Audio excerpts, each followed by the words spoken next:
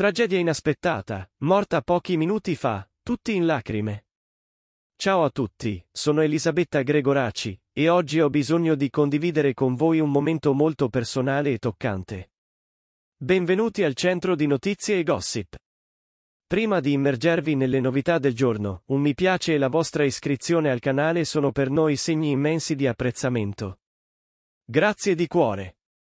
Oggi è un giorno che mi vede pervasa da una profonda tristezza. È un giorno di lutto, un giorno in cui ho perso qualcuno di incredibilmente speciale per me. E voglio condividere con voi questo dolore, perché siete come una famiglia per me. Nelle ultime ore, ho sentito l'impellente necessità di onorare la memoria di questa persona straordinaria che è stata parte integrante della mia vita. Il messaggio che ho pubblicato sui miei social ha ricevuto un sostegno straordinario da parte vostra, i miei cari fan, e ciò dimostra quanto amore e affetto nutro per la persona che ora non è più tra noi. Oggi, venerdì 27 ottobre 2023, ho detto addio alla mia adorata nonna. Una donna straordinaria, che ha raggiunto l'incredibile traguardo dei 102 anni lo scorso 25 agosto. In occasione di questo straordinario compleanno, mi ero recata in Calabria per organizzare una festa memorabile in suo onore. Le parole che ho scritto per rendere omaggio alla mia cara nonna sono profondamente toccanti.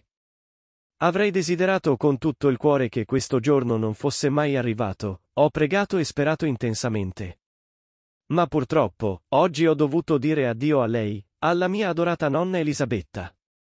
Voglio condividere con voi alcune foto dei momenti felici trascorsi insieme a lei, in particolare durante la festa per il suo 102 compleanno. Le sue memorie sono un tesoro per me, e voglio mantenerle vive nei nostri cuori. Vorrei ringraziare ciascuno di voi per il vostro sostegno incondizionato e per le parole di conforto che mi avete dedicato. Ricevere messaggi di forza e affetto da parte dei miei fan e da personaggi famosi come Massimo Vine e Paola Caruso è stato un grande conforto in questo momento così difficile.